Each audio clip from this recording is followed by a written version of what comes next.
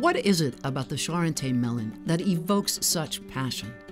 Perhaps it's the heavenly fragrance of jasmine and apricot that captivates passersby at markets. Or maybe it's the Charente's perfect texture and unparalleled sweetness and complexity. This melon was originally bred in the Charente region of west central France in the 1920s. But the sweet softball sized melon is synonymous with Cavaillon, the Provençal town in the heart of France's historical melon country. The melons of Cavaillon had a devoted following long before the Charentais was perfected a hundred years ago. The soil and climate of Cavaillon in the Durance River Valley is perfect for growing cantaloupe.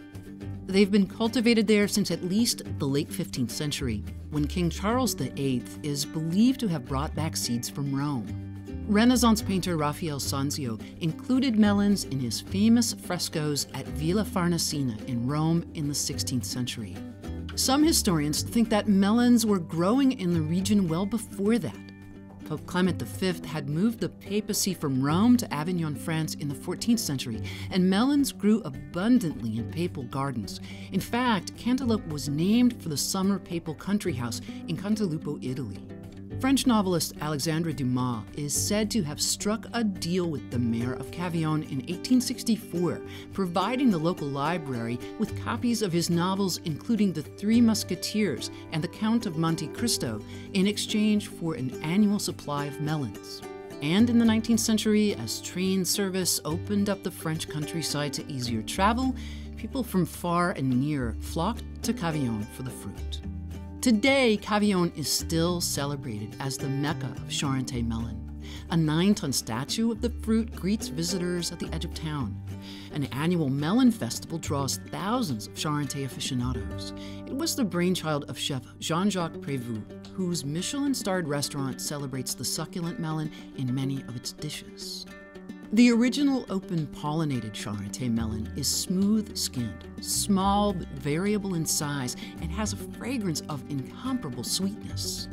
They're finicky to grow and tricky to ship, so they fetch much higher prices in markets outside France. Most Charentais melons grown today are a hybrid variety with an embroidered rind and bred for a slightly longer shelf life.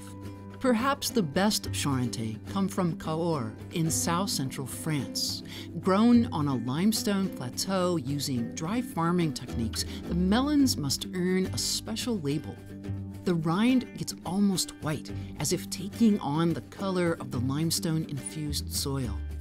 The ripe melons are available only from mid August to mid September, making them a highly sought after fruit.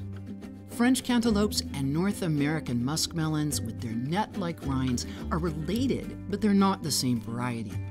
Charentais melons are at their best when ripened in hot, dry days and cool nights. Try this French heirloom jewel in your garden, but go easy on the watering at the end of their growing cycle.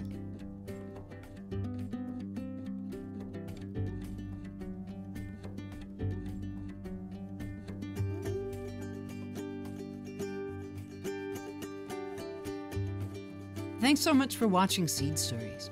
We love bringing you the backstory on these amazing varieties. Be sure to click the subscribe button so you won't miss a single episode.